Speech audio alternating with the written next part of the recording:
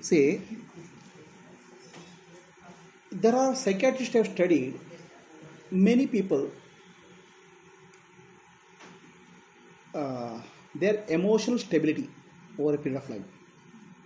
What they have found, there are many people whose emotional stability is good. What's called EQ, emotional quotient is very good. They traced it back to their childhoods.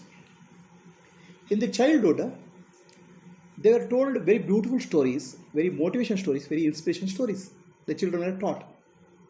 Okay, and those stories go deep into subconscious of children because children are very young. Okay, for them that stories it's like a uh, you can give a shape to the mud when it's soft. The children mind is very soft, very inspiring, very motivation stories. When you tell this thing, they go deep. Even when they grow older, the story they may not remember, but the foundation which is laid creates a beautiful life. Okay. So there is a very important role for the mother. There is a very important role for grandparents in the life of children, because that is the time they are very close to the parents. They are very time very close to the grandparents. So you can tell them very inspirational, very beautiful stories. They you can shape their life.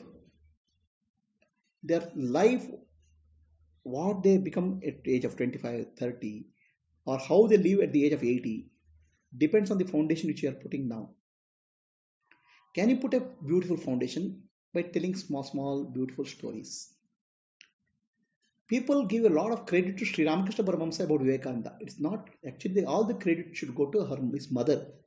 His mother molded Vivekananda at the young age. Okay.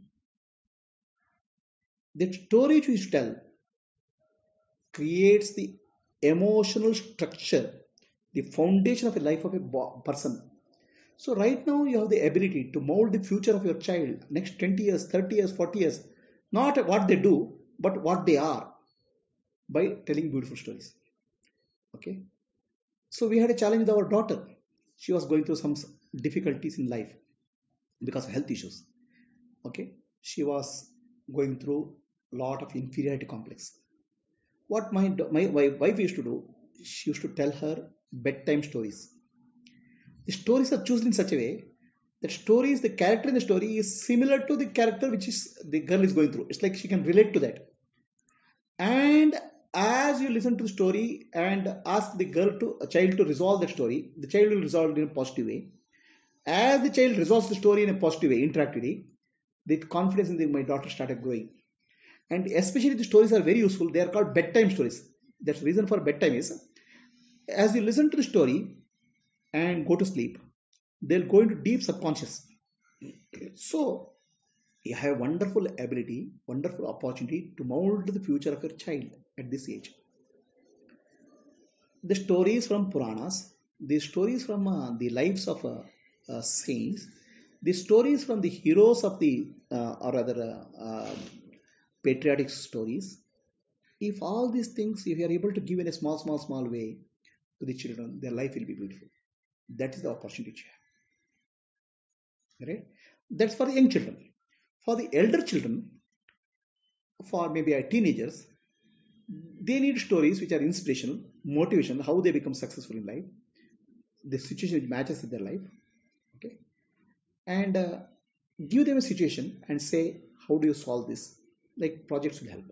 For the younger children, nice stories told at the bedtime will mold their character, mold their life, and they bring their lot of emotional stability.